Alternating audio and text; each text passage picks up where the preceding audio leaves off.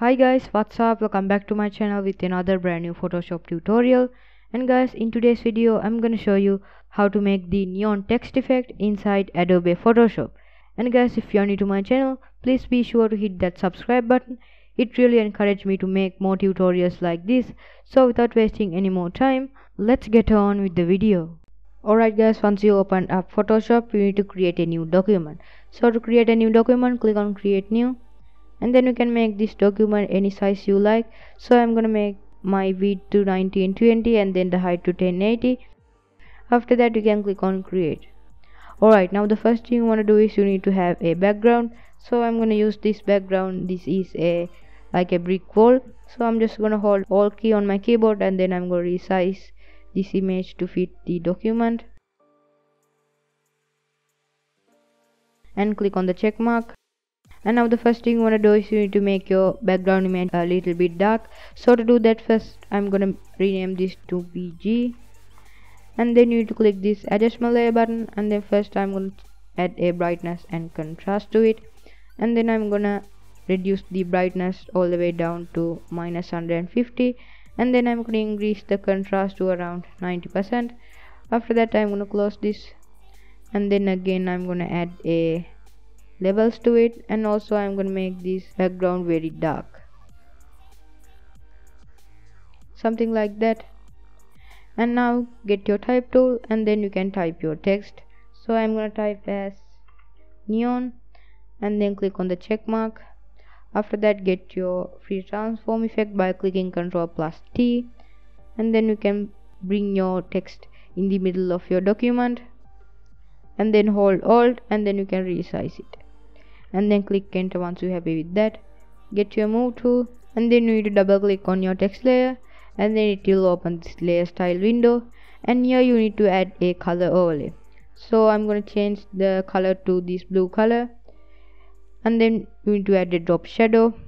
Make sure the color is the same color that you put to the color overlay. And then you need to change the blend mode to screen and change the opacity to around 40 to 45 percent and change the angle to 90 degrees and change the distance to 0 change the spread to 27% and change the size to 40 and then add a outer glow and then you need to change the color to the same color that you put your text layer. The blend mode is normal and change the opacity to around uh, 15 actually you can make the spread to around um, 20 and then change this size to 17 and then you need to click on stroke and then here you can change the size of that to 5 mm, I think 4 is good.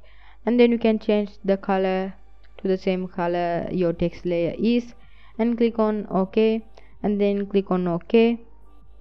And now you right click on your text layer and then click on convert to smart object. And then you need to click ctrl plus j to duplicate it and then you need to change the blend mode of that to linear dodge. After that you need to click on filter at the top and click on blur and select Gaussian blur.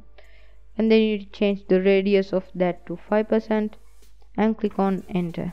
And then again click ctrl plus J to duplicate it. And then double click on the Gaussian blur effect.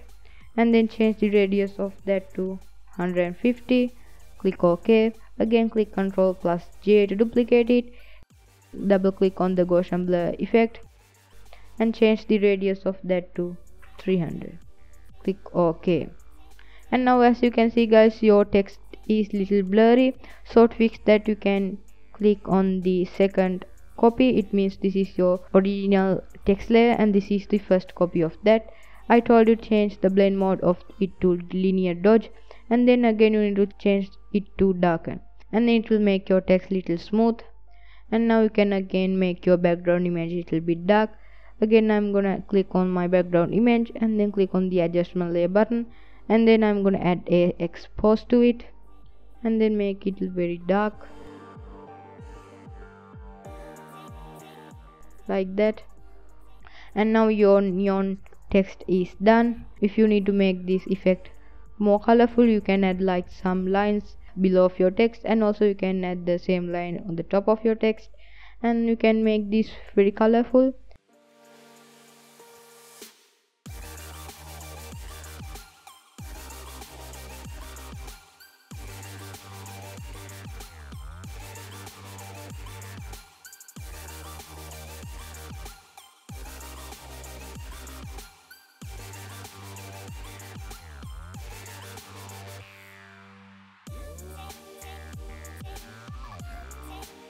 and as you can see guys I make this effect more colorful by adding lines below of my text and also on top of my text.